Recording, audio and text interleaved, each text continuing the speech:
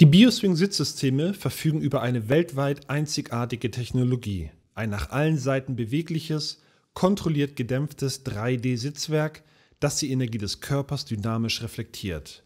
Ihr Nervensystem aktiviert hierauf ihre Haltemuskulatur mit einer erhöhten Dynamik, ihr Körper und ihr Geist gelangen in ein aktives Gleichgewicht. Es funktioniert automatisch, ohne dass Sie selber Einstellungen am Sitzwerk vornehmen müssen. Der 360 IQV verfügt in der Bestseller-Konfiguration zusätzlich über eine Beckenbalance, die eine automatische und körpersynchrone Anpassung der Neigung von Sitz und Rückenlehne ermöglicht. Die Sitzhöhe stellen Sie über den linken hinteren Bediengriff unter der Sitzfläche ein. Zum Anheben der Sitzfläche entlasten Sie den Sitz, ziehen Sie den Bediengriff nach oben und lassen Sie diesen in der gewünschten Position los. Zum Absenken der Sitzfläche ziehen Sie diesen im Sitzen nach oben und lassen Sie ihn in der gewünschten Position los. Stellen Sie die Höhe der Sitzoberfläche etwas höher als Ihre Kniekehlen. Ober- und Unterschenkel bilden einen jeweils über 90 Grad geöffneten Winkel. Die Füße stehen ganzflächig auf dem Boden, ohne erhöhten Druck auf die Oberschenkelrückseiten. Zur Unterstützung der physiologisch richtigen Beckenkippung und gleichmäßigen Druckbelastung Ihrer Oberschenkelrückseiten können Sie die Neigung der Sitzfläche einstellen. Die Neigung des Sitzes sorgt für die gewünschte Aufrichtung der Wirbelsäule in ihre natürliche Form. Die Sitzneigung stellen Sie über den linken vorderen Bediengriff ein. Drücken Sie diesen nach vorne und anschließend nach unten.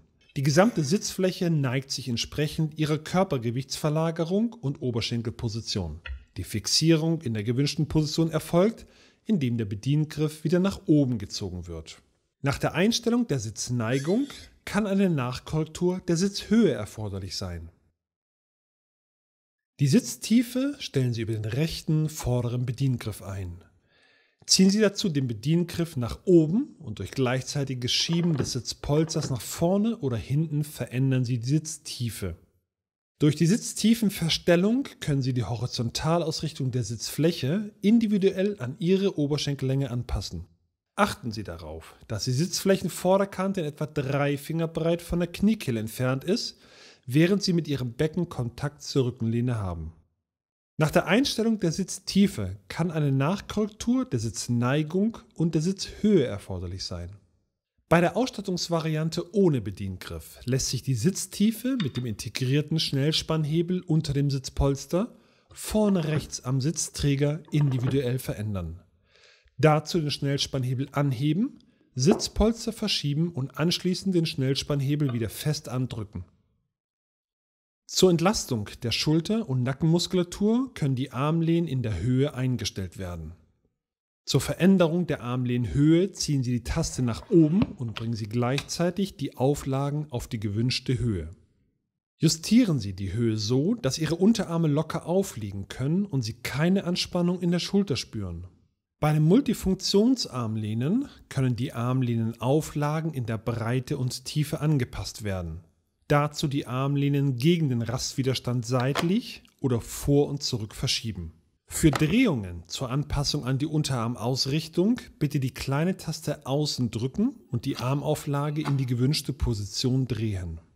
Beide Armlehntypen lassen sich durch die Langlochführung am Träger in der Breite regulieren. Lösen Sie dazu die Schrauben an der Unterseite des Sitzpolsters, bestimmen Sie die Breite durch Ziehen der Armlehne nach außen oder innen und ziehen Sie anschließend die Schrauben wieder fest. Durch die individuell einstellbare Lumbalstütze können Sie die Wölbung der Rückenlehne im Bereich Ihrer Lendenlordose anpassen. Dazu das Drehrad rechts an der Rückenlehne ganz nach vorne drehen, um die Wölbung zu verstärken. Dann greifen Sie im Sitzen mit beiden Händen nach hinten an die Rückenlehne und bringen diese durch Schieben nach oben, bis Sie die Lumbalstütze etwas über Ihre Gürtelhöhe spüren. Durch ein Drehen des Drehrades nach hinten bewirken Sie eine Abschwächung der Wölbung. Die Rückenlehne stellen Sie tiefer, indem Sie diese ganz nach oben bringen. Nur aus der obersten Position kann diese wieder nach unten gebracht werden.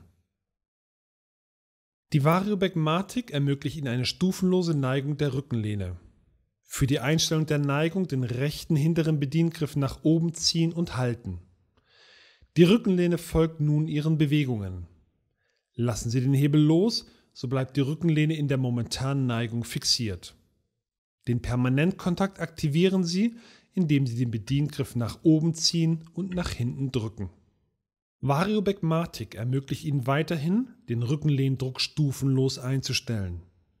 Unter dem Rückenlehndruck wird der Widerstand der Rückenlehne beim Rückneigen bzw. der Schub beim Vorneigen verstanden. Den Rückenlehndruck verändern Sie durch Drehen am Handrad vorne rechts unterhalb Ihrer Sitzfläche. Drehen Sie dieses Handrad im Uhrzeigersinn, so nimmt der Rückenlehndruck zu. Drehen Sie dieses Handrad gegen den Uhrzeigersinn, so nimmt der Rückenlehndruck ab. Wenn Ihr Bioswing 360 IQV über eine Nackenstütze verfügt, können Sie diese in der Höhe durch Überwinden des Rasterwiderstandes verschieben. Optimal sollte diese in der Höhe des unteren Hinterhauptes eingestellt sein. Für die Neigungseinstellung drehen Sie die Nackenstütze nach vorne oder hinten. Vor allem in der nach hinten geneigten Entspannungshaltung dient die Nackenstütze der Entlastung der Halswirbelsäule. Nachdem Sie Ihren Bioswing optimal für sich eingestellt haben, sollten Sie die Tischhöhe auf Ihre optimale Sitzhöhe einstellen. In einer aufrechten Sitzposition sind Ihre Unterarme leicht nach unten ausgerichtet. Die Armlehnenauflagen sind ca. 2 cm oberhalb der Tischoberkante.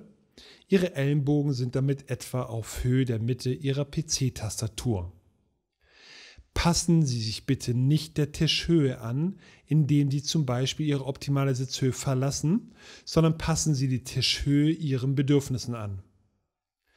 Kleinen Personen empfehlen wir für die optimale Sitzhöhe am Tisch die Verwendung einer erhöhten Fußauflage, falls sich Ihr Tisch nicht tief genug einstellen lässt.